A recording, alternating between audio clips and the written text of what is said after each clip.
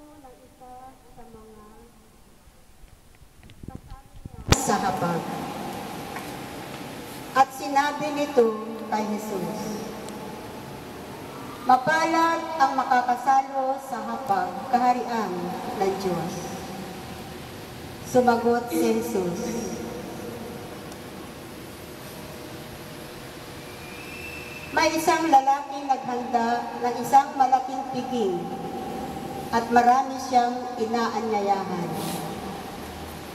Nang dumating ang oras ng piging, inutusan niya ang kanyang mga alipin at ipinasabi sa mga inanya, inanyayahan. Halina kayo, handa na ang lahat. Ngunit nagdahilan silang lahat at ang sabi ng una,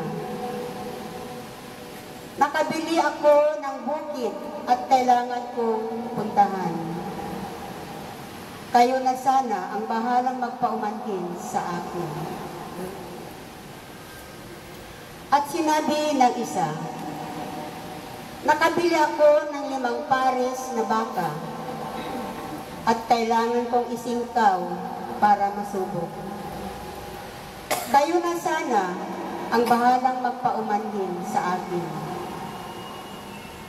Sinabi naman ng isa pa, Bagong kasal ako, kaya hindi ako makadadalo. Bumalik ang alipin at ibinalita sa kanyang Panginoon. Nagalit ito at sinabi sa alipin, Lumabas kang madali ng lungsod na sa mga lansangan at makikipot na daan ng lungsod. At isama mo rito ang mga pulubi, mga pingkaw, mga bulag, at mga pilay. Pagbabalik ng alipin, ay sinabi niya, Panginoon, nagawa ko na po ang iniuutos ninyo. Ngunit maluwag pa.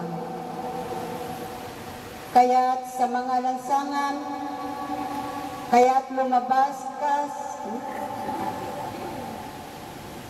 kaya't sinabi ng Panginoon sa alipin, lumabas ka sa mga lansangan at sa mga landas at pilitin mong pumarito ang mga tao upang mapuno ang aking bahay.